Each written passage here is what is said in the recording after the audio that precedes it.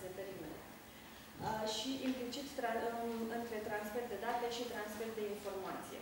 Când vorbim despre date, ne referim la acele uh, numere sau acele bucăți de text da? care sunt oarecum neutre. În momentul în care vorbim de informație, acest, această noțiune poate avea un termen dual. Asta ce înseamnă? Înseamnă că în literatură veți întâlni o, in, acest termen folosit interșașabil pentru date, da? Sau poate fi considerat ca o interpretare a datelor respective. Da? Adică o informație reprezintă deja o colecție de date care este, care este organizată, care este stocată și care este, are un anumit nivel de interpretare. Uh, vis-a-vis -vis de transfer de date și transfer de informații, când vorbim de transfer de date, este, ne, ne referim la un flux de bits și este absolut crucial ca acesta să rămână intact. Când vorbim de transfer de informație, în sensul al doilea, cel de colecție organizată, uh, lucrurile sunt puțin mai complexe, pentru că acest transfer de, de, de informație implică și înțelegerea interpretării respective. Bun. Um, că am vorbit de, de păstrarea integrității datelor în cadrul transferului și de informație în cadrul transferului, este absolut necesar să discutăm și despre standardizare și interoperabilitate. Um, când vorbim despre interoperabilitate, ne referim la posibilitatea de a interopera, de a lucra împreună. Um, când vorbim despre standardizare, ne gândim în principal la un Uh, la o serie de norme, la un document care prezintă o serie de norme vis-a-vis -vis de modul în care această informație sau aceste date sunt transferate dintr-o parte în alta. Asta așa ca termen general. Voi intra în detaliu puțin mai, puțin mai încolo. Nu mă cu calculatorul de deloc. Um, la nivel internațional există o multitudine de, să spunem, o multitudine de organizații care se ocupă cu realizarea de standarde, atât în domeniul geospațial cât și, uh, cât și extins, să spunem așa. Aici este doar o listă. În principiu, ce este important de, de știut este că pe domenii, multe dintre aceste instituții, cum ar fi OGC, Open Geospatial Consortium sau ISO, care este International Standardization Organization, uh, World Wide Web Consortium și așa mai departe, sunt uh, organizații care lucrează pentru dezvoltarea standardelor. Asta ce înseamnă? Asta înseamnă că în momentul în care există o, se identifică o problemă, da, trebuie să standardizăm modul în care transferăm informația vis-a-vis -vis de infrastructura rutieră. Da? Există grupuri de lucru care conțin, care sunt formate din cercetători în domeniul respectiv, care determină modul în care această informație trebuie, trebuie transferată. În cadrul prezentării o să mă axez în principal pe munca celor de la OGC, pentru că reprezintă la, la ora actuală una dintre cele mai relevante uh, instituții care dezvoltă standarde pentru, pentru domeniul geospațial. Bun, am vorbit despre standardizare, acum o să vorbim foarte puțin despre interoperabilitate. Uh, dacă, dacă este să, să analizăm puțin acest concept, e important de menționat faptul că interoperabilitatea este considerată, să spunem așa, pe două axe. Da? Una este transversală și face referire la modul în care informația este transferată de-a lungul timpului. Și când spun de-a lungul timpului, nu mă refer de pe una pe alta, de pe un an pe, de pe, un an pe altul, ci mă refer la modul în care această informație este transferată de-a lungul decenilor, să spunem. De ce este important, cel puțin în domeniul geospațial? Păi ne putem, ne putem gândi la studiile referitoare la schimbările climatice. Avem nevoie de informație istorică. Da? Informația istorică ce de cele mai multe ori, evident, a fost stocată pe un mediu specific timpului respectiv, pe un floppy disk, pe un cd și așa mai departe. Aceasta, face, acesta, acesta este conceptul vis-a-vis -vis de interoperabilitate transversală, modul în care noi putem interpreta o informație sau un set de date pe care îl primim de pe un floppy disk, de exemplu. Și discutăm despre interoperabilitate longitudinală, care face referire la transferul de informație între utilizatori. Și când spun utilizator, nu mă refer neapărat între mine și colegul meu, mă refer între o instituție și alta, mă refer între un stat și altul, între o agenție cu un anumit profil și o altă agenție cu alt profil și așa mai departe. Da? Bun. Ce mi s-a mai părut important de menționat este că acest această noțiune de interoperabilitate are mai multe nivele. Da? Primul nivel este cel considerat cel tehnic, cel în care discutăm despre um, posibilitatea tehnică de a deschide un fișier, de exemplu. Aici problema care apare de cele mai multe ori este aceea unui uh, prieten fals, în ideea că dacă noi folosim un format de date comun cu colegul nostru, suntem complet interoperabili, ceea ce nu este, ceea ce nu este neapărat adevărat. Uh, ulterior, această, această posibilitate de a conecta și de a interpreta informația crește. Vorbim ulterior de o interoperabilitate semantică, adică înțeleg și modul în care datele respective au fost interpretate și cea mai, cel, mai, cel mai înalt nivel al integrării, în care sistemele între ele au același model conceptual și despre asta vom discuta ulterior. Și mai mult decât înțeleg modelul conceptual, dar, și, dar înțeleg și dinamica, dinamica modificărilor ce pot duce la o modificare între transferul de informații. Pentru că am spus că vorbim despre transferul de informație în, în geoștiințele interdisciplinare, am spus că poate ar fi bine să mai trecem o dată în revistă la ce anume ne referim atunci când vorbim despre aceste geoștiințe, bineînțeles științele Pământului și ce e important, această interdisciplinaritate. Da, textul, bineînțeles, ne ajută și spune așa, care aparține mai multor discipline, care stabilește relațiile între ele. Și ce este important? Care este fundamentat pe transferul de concepte și metodologii între două sau mai multe discipline. Geoștiințele sunt, bineînțeles, prin natura lor interdisciplinare. Bun. Dar, până la urmă, care este, de fapt, miezul, miezul problemei? Fiecare domeniu în parte are un mod de, a de a ajunge la anumite interpretări. Primul pas pe care îl facem este să colectăm informația respectivă. Da? Îți colectezi datele pe care ulterior le vei, uh, le vei analiza și le vei interpreta. Pentru fiecare domeniu, domeniu în parte, avem anumite metode de a colecta datele respective, anumite metode de a le stoca, de a le interpreta, de a le interoga și așa mai departe. Putem vorbi despre date satelitate într-o parte. Putem vorbi despre, nu știu, uh, cartografiere pe teren.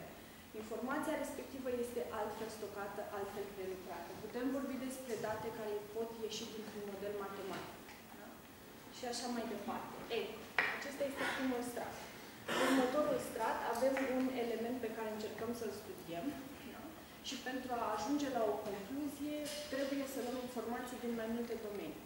Și poate un exemplu potrivit este, nu știu, vrem să facem un studiu vis-a-vis -vis de resursele de apă subterană. Mai este de hidrogeologie. Pentru informația respectivă, într-o anumită zonă, am nevoie de informații. Trebuie să transfer informații din mai multe domenii de studiu. De la meteorologie, la topografie, la utilizarea terenului, la geologie, la litostratigrafie și așa mai departe. Multe informații, multe feluri de a le stoca, multe tipuri da? și trebuie cumva să le aduc într-un mod, uh, într-un mod uh, unificat. Încă un strat peste această, peste această diferențiere vine din, uh, din uh, entitățile care colectează informația respectivă. Da? Pentru geologia al Institutul Geologic. Ei au un anumit sistem de a lucra. Lucrează cu anumite softuri, cu anumite proceduri și așa mai departe. Am nevoie de informații de la metro. Acolo vin altfel, sunt altfel stocate. Am nevoie de informații de la Institutul Forestier și așa mai departe. Da? Deci vă imaginați mult, multă informație dispersată în multe moduri, în multe sisteme și trebuie să existe un mod prin care informația respectivă să o aduc, să o pot prelucra, interpreta și așa mai departe. Dar mai mult decât atât, trebuie să o pot și transmite.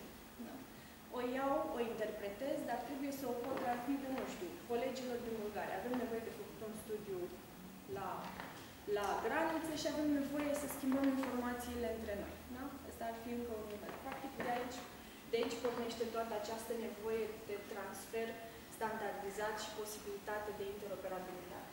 Da? Și e posibil să avem o problemă. Mai întegheat. Da? În 1998, doi, uh, doi uh, domni de la, de la Institutul Geologic al, uh, al Statelor Unite, Borrow și Merton, au, au hotărât că, domnule, pentru astfel de probleme avem nevoie să punem lucrurile pe hârtie. Da? Și s-au gândit că, ok, avem un, um, un fenomen, da? este un domeniu de studiu, să spunem, pe care încercăm să-l conceptualizăm, încercăm să-l abstractizăm, pentru că ceea ce este infinit în domeniul de studiu, am nevoie să pot cumva să-l fac, să intre într-un sistem digital. Și atunci eu trebuie să decid ce anume este important pentru fenomenul respectiv. După ce decid ce este important pentru fenomenul respectiv, trebuie să decid modul în care voi spune sistemul meu informatic cum să ia informația respectivă, cum să o stocheze.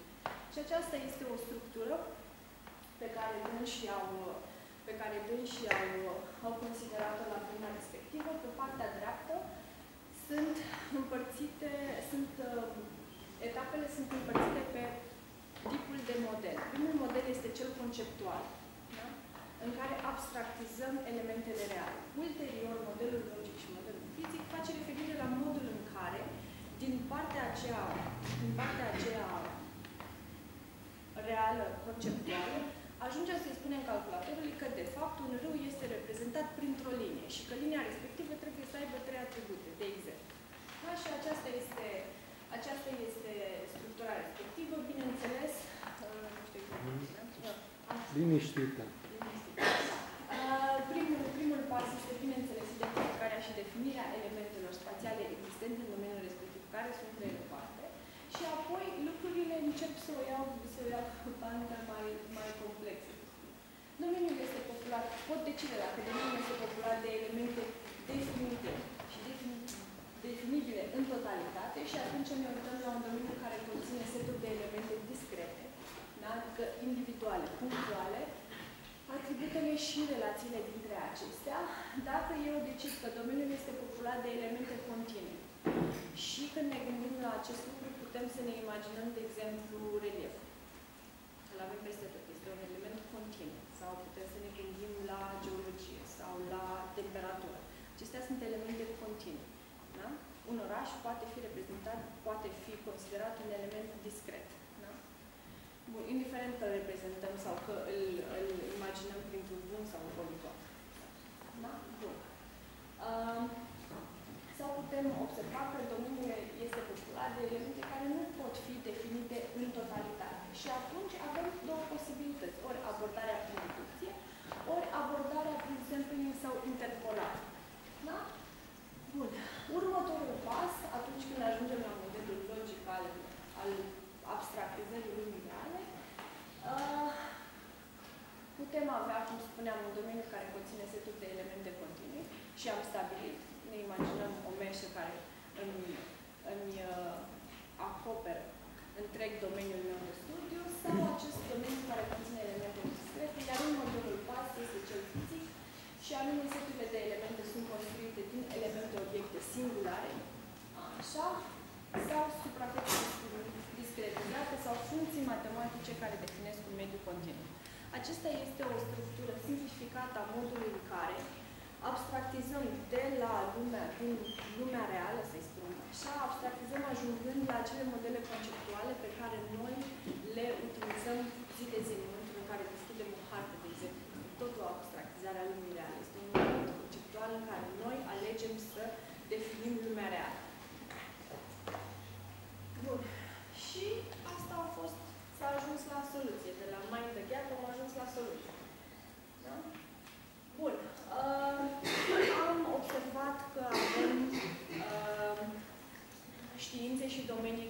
între pătrund, automat elementele și relațiile dintre elemente se întrepătrund. Am observat faptul că putem avea uh, pierdere de informații, că până la urmă asta este fundamental. Putem avea pierdere de date sau pierdere de informații în modul de interpretare și ne-am gândit că există un mod prin care noi putem conceptu prin care noi putem abstractiza lumea reală. Dar uh, următorul pas este ca toți să facă cu toții, să o facem în același mod, să abstractizăm în același mod. Și atunci, acest OGC, Open Geospatial Consortium, um, este o, este o instituție care dezvoltă standarde plecând exact de la acest principiu. Modul în care ei lucrează este următorul, uh, simplificat bineînțeles. Există un domeniu, da, cum spuneam, hidrogeologie. Este un domeniu, au un grup de lucru. Grupul de lucru este format din persoane da? din specialiști în domeniul respectiv, indiferent că vorbim de companii private, de uh, universități sau de instituții publice, indiferent, formează un grup de lucru în care merg și discută modul în care informația în hidrogeologie este cel mai uh, potrivit, să spunem, um, abstractizată. Bun. Studiile lor, studiile pe care le fac, testele și așa mai departe, se vor traduce în documente, într-un document standardizat. Da? Un document standardizat care, uh, care poate, nu dau să dacă se vede ceva acolo, bine, care este de cele mai multe ori tradus în mai multe, în mai multe moduri. Deși el spune același lucru. Primul, prima imagine, cea din stânga sus, este o listă a entităților. Entitățile considerate fundamentale în hidrogeologie și definirea lor. Dacă veți avea curiozitatea să vă uitați pe un astfel de standard care este în lucru, care este încă în lucru, o să observați că această organizație care lucrează, la așa spus, la distanță, au conversații vis-a-vis -vis de modul în care un anumit element trebuie să uh, fie interpretat. Și uh, arătând faptul că fiecare standard în sine este practic un, un proces derulat. Bun. Uh, în partea dreaptă este o altă metodă de este o, o altă metodă de reprezentare a acestui model conceptual, care rău că nu se vede foarte bine. Este vorba despre uh, Unified Modeling Language, care reprezintă mai mult decât conceptualizarea, decât modelul conceptual cel primar. Reprezintă, un, uh, reprezintă și informații pe care noi le oferim unui sistem informatic, în care să înțeleagă modul în care elementele sunt definite și care sunt structurile între ele. Da? Iar în partea de jos e un, un fișier care este de fapt baza pentru, pentru uh, standardele de la OGC, uh, pentru informația geospațială și anume XML. Da?